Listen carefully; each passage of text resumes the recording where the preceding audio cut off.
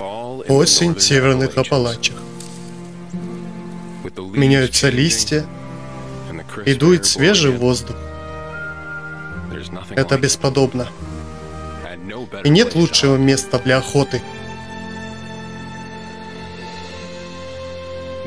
Тропы здесь предлагают так много, петляя по лесу, проходящие озера и реки, по мостам, старым столетним мостам, даже приводят к некоторым впечатляющим смотровым площадкам. Обязательно проведите некоторое время вне тропы. Это немного грубо, но это часть очарования. Бьюсь об заклад, что есть еще некоторые места, которые никто не обнаружил.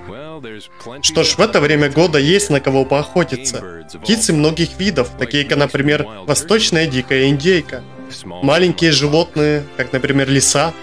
Или, если вам нужна большая охота, то белохвостый олень, черный медведь или, может быть, лось. У нас наверняка есть какая-то особенная дикая природа. Проведите достаточно времени, охотясь и исследуя эти старые холмы.